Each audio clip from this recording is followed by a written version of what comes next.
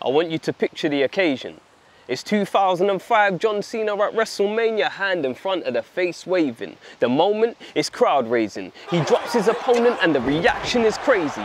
Three seconds later, his championship greatness. His ascension, nothing less than amazing. A few months later, he's booed out of every place he makes waves and it went from standing ovations and elation to unwarranted hatred and raging. All of a sudden, these fans went from screaming, he's made it, to imploring he changed things. It was either turn heel when the ring or face being jeered in every arena he stepped in. This once fan favourite, he could have wavered and left the persona that made him. But this is who he was beyond entertaining, so with commitment and patience, seeing that he stayed true to his statement. Polarizing crowds, but the hate never fazed him. Now, years later, he still adheres to the slogan he'd state then never give up. A reminder through hardship to maintain strength regardless of whatever we're faced with.